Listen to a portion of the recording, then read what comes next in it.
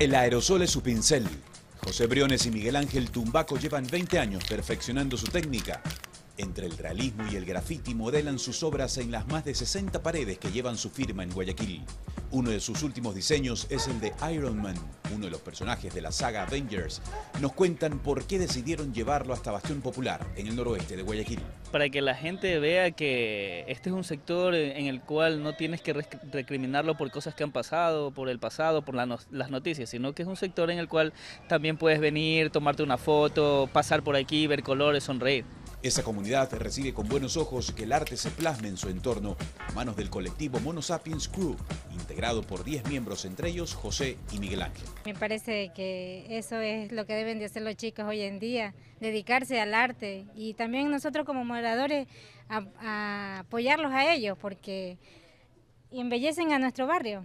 Es un arte muy bello, es muy, está muy bien que ahorita se dediquen al arte y se ve bien. Nos han escrito bastante en estos días, así que si damos cursos, si enseñamos esto, eh, por el momento no tenemos eh, eh, la, infraestructura ni, todo como para poder dictar talleres y eso, pero bueno, ya lo estamos trabajando y vamos a ver si lo podemos realizar porque ha sido bastante la acogida de la gente en querer aprender esto también.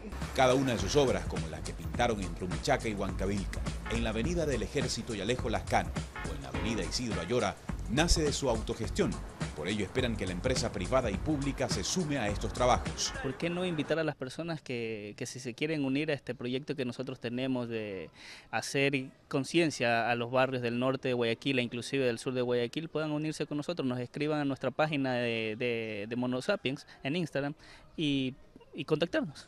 Es así como buscan seguir abriendo espacios a la creatividad, la tolerancia y la convivencia artística entre la comunidad que acoge sus colores y su talento con alegría.